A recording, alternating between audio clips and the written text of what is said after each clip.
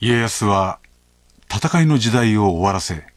この世に浄土を実現させたいという信念を持ち続けた男でした。そんな家康に許されて庭作りを任された倉庫。その心中はどのようなものだったんでしょう？あのー、僕とちょうど同じくらいの年で56くらいだったそうですけどうん本来の武将で本行きたかったのかもうすでに悟っていてあの天下平定のための武将の手助けというかその一部分に加わっていきたいという人生の取り方なのかそれはあの作品としてのこの庭を見ないとわからない。もう想像でしかわかんない今世界にあるわけですけどそういう意味で僕にとっては非常に興味がある。あの自分にもちょっとこう重なってくる部分がありますからあのとっても楽しみです。こんにちは。家康のために倉庫が作った庭は一体どのようなものなのか庭園史に詳しい造園家斉藤忠和さんに案内してもらいましたご案内させていただきたいよろしくお願いいたします今歩いてるこのアプローチこの道は？昔からのものいやこれは後ですね。あ後で、はい、で、えー、後で図面を見ますとね、はい、やっぱり倉庫の時はこここう砂利の一直線の道。そういうふうな作りですね。なるほど、え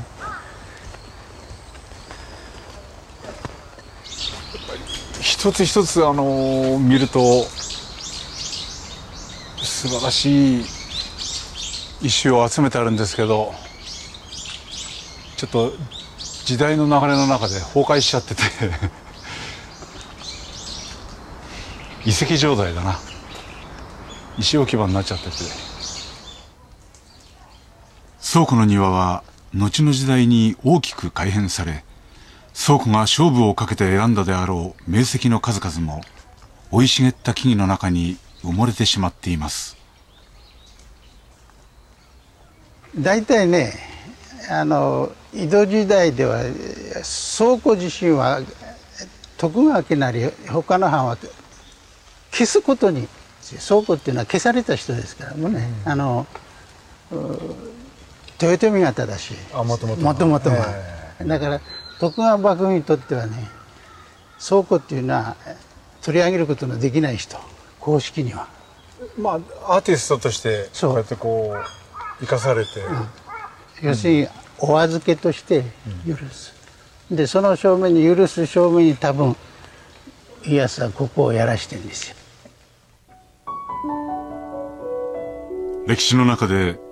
顧みられてこなかった倉庫の庭。しかしその中で唯一倉庫が作った当時の姿をとどめる場所があります。それがこの深い谷と高く浮かぶように架けられた石橋だと言います。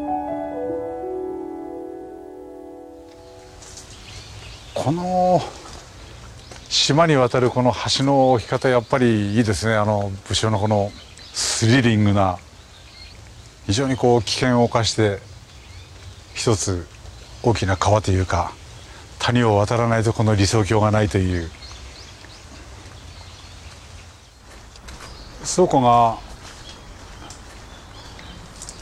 この戦国の戦場でこう越えてきた人生の中で越えてきた険というか命がけの区切り区切りにこの橋を架けて次のステップにこうやってきた一つの時代のこの架け橋みたいな作業としてこの橋をこう置いてるのかなっていうふうにそんなにも見えますし。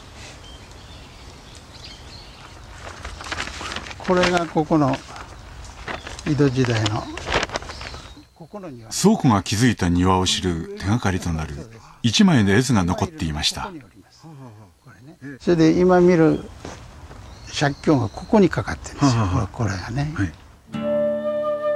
絵図によると庭の入り口から中心にかけて渡り廊下が伸びていたことがわかります。廊下の脇に植えられていたのは3本の松。まるで能舞台の橋がかりのようです実はこの庭全体を能舞台に見立てて作られていました。橋がかりを渡った先にかけられた借境借境は能の演目にもなっています。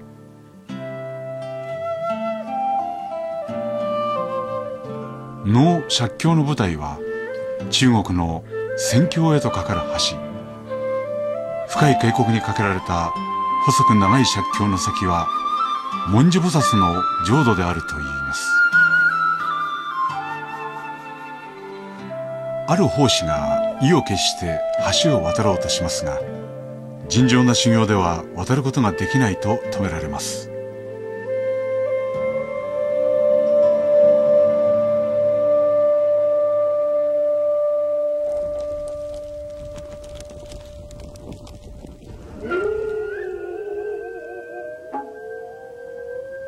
しばらく拝んでいると文殊菩薩の霊獣獅子が現れ満開のボタンの中で舞います。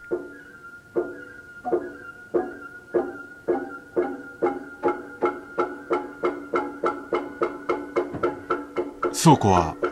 このめでたい能に家康の天下太平をことほぐ意味を込めたのでしょう。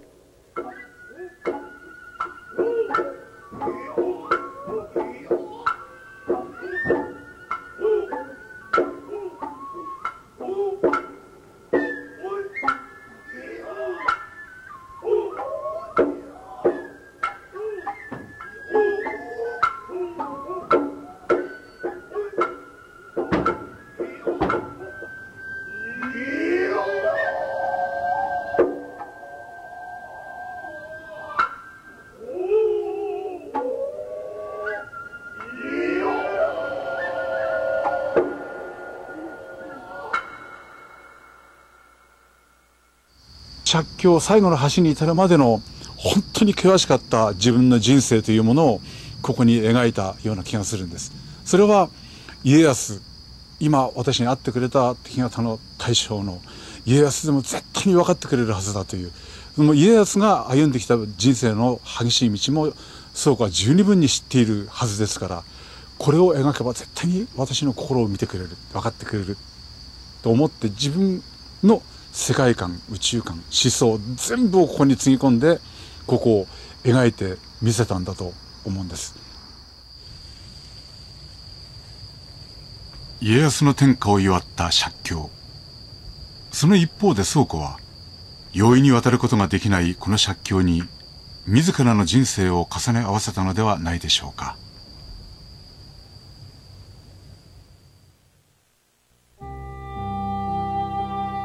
元那5年。57歳の倉庫は浅野家の国替えに伴い広島へと移ります。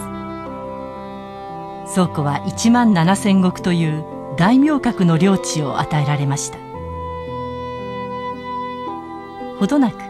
浅野家の別邸の庭出家園の策定を任されます。晩年は隠居し茶三昧の日々を送ったと伝えられています。上田家に残る上田家上屋敷宗図。この絵図をもとに今年の夏倉庫が生きた当時の屋敷と庭がよみがえりました。そこから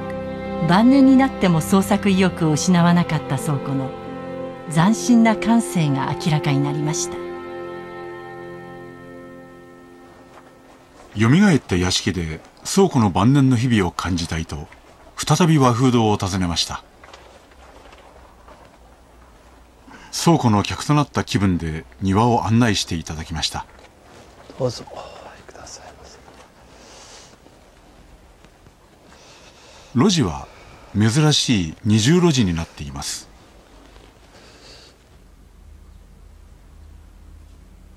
外路地は高い塀に囲まれた15坪の狭い空間で主を待つ間客は緊張感に包まれることになります。上田倉庫というこの大変な 武将は、ええ、そのお客さんを招き入れる時になんか大変なことをしたという。あある時に向かい込みを